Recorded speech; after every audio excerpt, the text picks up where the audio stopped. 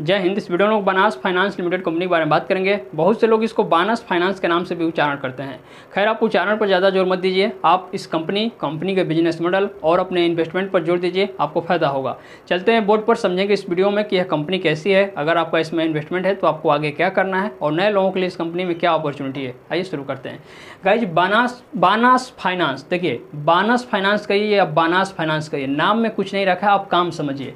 Company का काम है कि यह फाइनेंस सेक्टर से बिलोंग करती है और इन्वेस्टमेंट तथा ट्रेडिंग करती है शेयर बाज़ार में। जैसे हम लोग ट्रेडिंग करते हैं, वैसे यह कंपनी भी करती है। लेकिन अंतर यह है कि इस कंपनी के पास हाईली क्वालिफाइड फंड मैनेजर होते हैं, जो अपने अच्छे समझ बुझ के साथ पैसा लगाते हैं और उससे पैसा बनाते हैं। हालाँकि यह कंपनी एनबीएफसी से नहीं जुड़ी है। एनबीएफसी से जुड़ी हुई जो कंपनियाँ होती हैं, उनका जो फाइनेंस का बिज़नेस होता है, वो इसके मुकाबले ज़्यादा बेहतर होता है, क्योंकि इसमें रिस्क होता है, जबकि उसमें रिस्क नहीं होता है। और वो जो लोन देती हैं, उससे रिटर्न मिलता है रेगुलर तो उससे उनका कमाई ज़बरदस्त होता रहता है। इसमें तो चल गया तो सुबह तक, नहीं चला तो शाम तक। लेकिन इसके बावजूद इस कंपनी का फंडामेंटल काफ़ी बेहतर है। हम लोग धीरे धीरे सब समझेंगे, समझिए? अब इसका मार्केट कैप एक सौ तेरह करोड़, यानी कि बहुत छोटी बहुत छोटी नहीं मतलब फिर भी पेनी स्टॉक तो है ही। और शेयर प्राइस देखेंगे, आज के दिन का है चौवालीस रुपये पंद्रह पैसा। अब समझिए, साल 2015 के पहले तक इस कंपनी का शेयर प्राइस 200 से ऊपर हुआ करता था। बहुत अच्छा चल रहा था साल 2015 के पहले तक।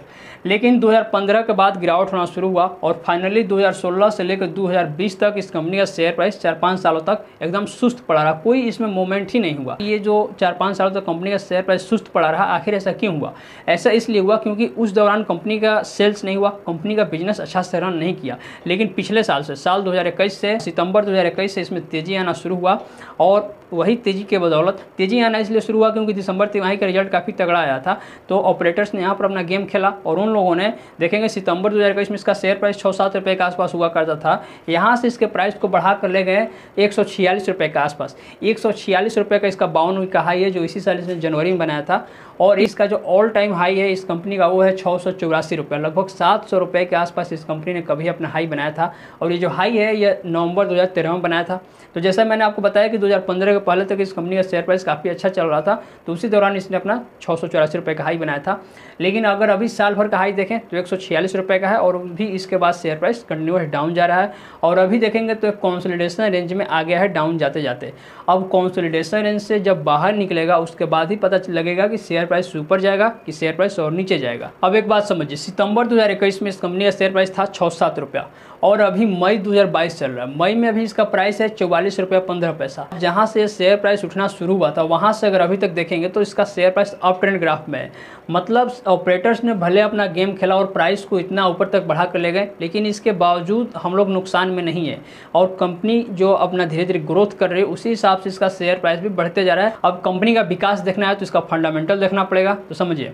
कंपनी के ऊपर कर्जा है सिर्फ़ ग्यारह करोड़ रुपए का, कर्जा कुछ ज़्यादा नहीं है, और इसके पास रिज़र्व है सड़सठ करोड़ रुपए का। तो कंपनी जब चाहे अपने कर्जे को आसानी से चुका देगी, और ग्यारह करोड़ कुछ खास बड़ी रकम नहीं है, इसलिए उसमें कोई ज़्यादा सोचने की बात नहीं है। यहाँ समझिए, इसके अगर क्वार्टरली रिज़ल्ट की बात करें तो अभी तो क्वार्टर फोर के रिज़ल्ट आने बाकी हैं, लेकिन जैसे मैंने अभी कहा कि दिसंबर तिमाही के रिज़ल्ट इसके काफ़ी शानदार आए थे। देखिए दिसंबर तिमाही में इसका रेवेन्यू बढ़कर हो गया था अंठावन करोड़ रुपया, जो कि क्वार्टर टू में था चौंतीस करोड़। और क्वार्टर वन में सिर्फ़ तीन करोड़ का रेवेन्यू हुआ था। समझिए, पिछले तीन क्वार्टर से इस कंपनी का रेवेन्यू तीन करोड़ से बढ़कर अंठावन करोड़ तक हो गया है। और अभी क्वार्टर फोर का रिज़ल्ट आने बाकी हैं। जिस हिसाब से यह रेवेन्यू बढ़ रहा है, हमको उम्मीद है क्वार्टर फोर का रिज़ल्ट आएगा तो थ्री डिजिट में आएगा। तो ये काफ़ी अच्छा रहेगा। और जब रेवेन्यू बढ़ रहा है तो इसका प्रॉफिट भी बढ़ रहा है। तो देखिए क्वार्टर थ्री में प्रॉफिट बढ़कर हुआ है तिरपन करोड़ रुपए का, जो क्वार्टर टू में सिर्फ़ पैंतीस करोड़ का हुआ करता था। और इन दोनों को बदौलत इसका अर्निंग पर शेयर भी ज़बरदस्त बढ़ा है। पेनी स्टॉक होने के बावजूद इसका जो अर्निंग पर शेयर है वह रुपयों में, देखिए, एक रुपया पच्चीस पैसा था क्वार्टर वन में क्वार्टर टू में बढ़कर तेरह रुपया हो गया और क्वार्टर फोर में बढ़कर छब्बीस रुपया हो गया। मतलब एक मिड कैप कंपनी का जो अर्निंग पर शेयर होता है, वह भी इसके बराबर नहीं होता है, लेकिन इसका अर्निंग पर शेयर इतना अच्छा है, इसका मतलब फंडामेंटल कंपनी का बहुत बहुत बहुत ठीक है। इसका जो बुक वैल्यू वह भी छत्तीस है। पेनी स्टॉक का बुक वैल्यू इतना अधिक होना ये काफ़ी बड़ी बात है, क्योंकि सामान्यतः पेनी स्टॉक का बुक वैल्यू तीस रुपये के आसपास नहीं होता है। लेकिन इसका है, इसका मतलब ये है कि कंपनी का जो असेट्स है, इसके डेप्ट इसके लियाबिलिटी से काफ़ी अधिक है और कंपनी का बिज़नेस अच्छा से रन कर रहा है। इसी के बदौलत जो बुक वैल्यू होता है, कंपनी का अच्छा होता है। इसका रिटर्न ऑन इक्विटी और रिटर्न ऑन कैपिटल इंप्लूड दोनों पॉजिटिव में है। यानी कि अगर आप इसमें इन्वेस्टमेंट करना चाहते हैं तो आपके लिए ये बेहतर कंपनी है। बस एक सही लेवल देखकर, सही मतलब जो टाइमिंग होता है एंट्री करने का, वो देखकर कोई नया व्यक्ति है तो इसमें एंट्री कर सकता है। इसमें प्रमोटर्स की हिस्सेदारी भी लगभग साढ़े तेरह परसेंट के आसपास। तो जब प्रमोटर्स हैं तो ज़्यादा चिंता की बात नहीं है। कंपनी में प्रमोटर्स होते हैं तो थोड़ा इसमें ऑपरेटर्स अगर हावी होंगे, इसकी संभावना बहुत कम हो जाती है। लेकिन पेनी स्टॉक है तो ऑपरेटर समय समय पर अपना गेम खेलेंगे, इस बात की संभावना से इनकार नहीं किया जा सकता। हालाँकि ऑपरेटर्स का होना बुरी बात नहीं है, मैं पिछले कई वीडियो में बताया हूँ, क्योंकि ऑपरेटर्स के बदौलत शेयर प्राइस में जल्दी जल्दी मूवमेंट देखने को मिलता है। और इसमें पब्लिक हिस्सेदारी छियासी पॉइंट छः चार परसेंट के आसपास है। तो अगर ओवरऑल बात करें तो कंपनी काफ़ी शानदार है बिज़नेस मॉडल के हिसाब से भी और फंडामेंटल के हिसाब से भी। अगर आपका इसमें इन्वेस्टमेंट है तो बेशक आप समय दीजिए। आने वाले समय में कंपनी काफ़ी बेहतर करेगी और अगर शॉर्ट टर्म के लिए आए हैं तो प्रॉफिट में है तो प्रॉफिट बुक कीजिए। अगर नहीं है तो जब क्वार्टर फोर का रिज़ल्ट आएगा शेयर प्राइस ऊपर जाएगा, वहाँ पर आप प्रॉफिट बुक कर लीजिएगा। नए लोगों के लिए मैंने बता दिया कि एक सही लेवल देकर आर आर एस आई एक बार देख लीजिएगा, अगर आई का लेवल ठीक हो तो इंट्री कर सकते हैं। तो उम्मीद करता हूँ मेरी बातें आपको समझ में आ रही होंगी, वीडियो इन्फॉर्मेटिव लगा होगा। फिर भी अगर मन में कोई सवाल है, कोई कन्फ्यूज़न है तो आप कमेंट में ज़रूर पूछिए, मैं उसका रिप्लाई दूँगा।